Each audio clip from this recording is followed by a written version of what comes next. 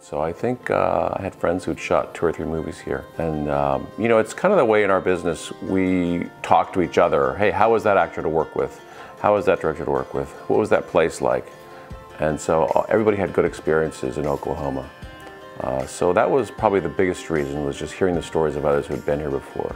The Masonic Temple is just an amazing, amazing place. I mean, you could literally shoot an entire movie in there, which we almost did. What I really love about Guthrie also is everything is so close. Like, I'm within five minutes of everything.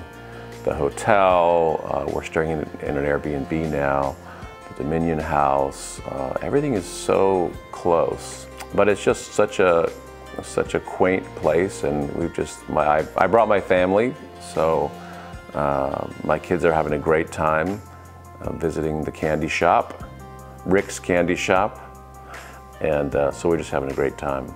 Several times during the shoot we had to block off uh, certain streets and uh, I'm sure it's a bit of an inconvenience for folks, but nobody said anything in a negative way, like they were very supportive.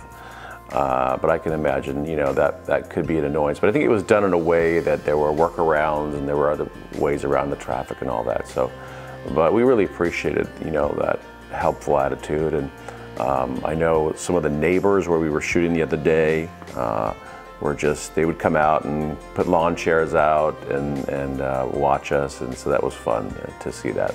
Yeah, I think especially for us, Green Pastures as well um, as Prairie Surf have been just good partners for us.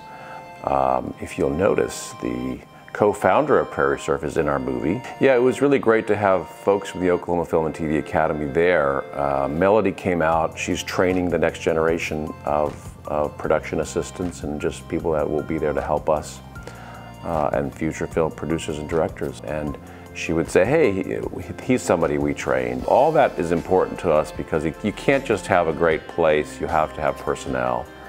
And so uh, that's, that's going to be really important going forward.